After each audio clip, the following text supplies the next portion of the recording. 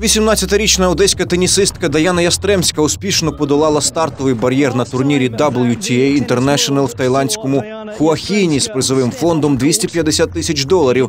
У матчі першого кола одеситка, посіяна під восьмим номером, обіграла представницю Нідерландів Аранчу Рус 6-0, 6-3. Болівальники з огляду на цей матч зробили геймплей. Наступна суперниця Даяни визначиться в матчі між китаянкою Пен Шуай та Хлоєю Паке з Франції. Тим часом Ястремська вперше в кар'єрі увійшла до топ-50 світового рейтингу, посівши 47 місце та стала 10-ю представницею України, якій вдалося цього домогтися. А от від поїздки до Зеленої гори у складі збірної на зональні змагання в першій групі євроафриканської зони третя ракетка України, як і Еліна Світоліна, відмовилась.